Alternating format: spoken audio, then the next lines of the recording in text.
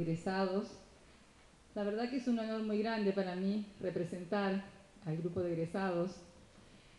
Eh, estudiar una lengua de por sí eh, supone toda una aventura para un crecimiento personal, en lo intelectual, eh, en, lo, en, lo, humano.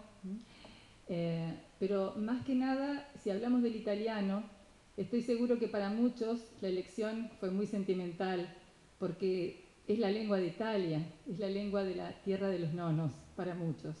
Entonces es una manera también de elegirlo para rendirles homenaje. Además nos sentimos un poquito italianos y sentimos esa como necesidad de hablar mejor esa lengua que la sentimos nuestra también. Y estudiar italiano además es un placer, es un hermoso, un inmenso placer, que conlleva también un, un inmenso desafío. Es un placer porque es una hermosa lengua, dulce, musical, además eh, representativa de, toda una cultura vastísima, ¿no? Cuánta historia, cuánto arte. Qué maravilla, digo yo, eh, animarse de a poquito, con mucha paciencia, a leer a uno de los grandes escritores italianos, ¿por qué no un clásico alguna vez? Leerlo sin traducción, leerlo en la lengua, maravilloso. Qué bueno también, por otro lado, disfrutar de una hermosa canción, tantas canciones italianas con unas letras maravillosas, escucharlas en italiano. Qué fantástico eh, poder gozar de un film, tantos hitos eh, del cine italiano a nivel internacional. Qué maravilla meternos en el film sin necesidad de traducciones, de doblajes, escucharlo, comprenderlo, entenderlo en su total dimensión. En fin, los motivos para enumerar los placeres son enormes. Pero decía que también conlleva un gran desafío. Por ahí uno escucha a menudo que eh, para los hispanohablantes el italiano es fácil, porque es muy parecido, y es verdad.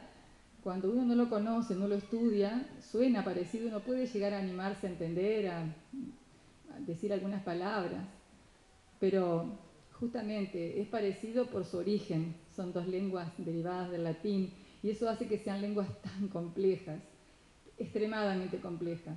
Lo demuestran sus sistemas verbales complejísimos, el uso de pronombres increíblemente difícil, las preposiciones que también lo hacen difícil. Los que estudiamos la lengua lo sabemos, es un gran desafío. Pero bueno, ese placer que decía hoy eh, de, leer, de escribir, ese placer por intentar hablar, eh, por escribir, decía, por, escuchar. Todo ese placer crece a medida que eh, conocemos más la lengua. Por eso no queremos que esto sea un fin, ninguno quiere terminar, queremos que esto sea un paso más en ese continuo aprendizaje de esta hermosa lengua que tanto amamos. Y no quiero, dejo para el final, pero no me quiero olvidar de agradecer eh, en principio me tomo el atrevimiento, de, perdón, de un agradecimiento personal y es a mis compañeras de, curso. Gracias por la amistad, eh, ha sido gratísimo compartir con ustedes estos años.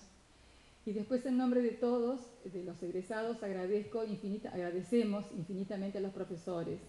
Eh, sin ellos este recorrido hubiera sido imposible. Ellos con su calidez, inmensa calidez humana y su experiencia profesional, eh, han sabido eh, hacer de clases amenas, eh, con didácticas alegres, dinámicas, han podido conducirnos y hacer que cumplamos nuestro objetivo.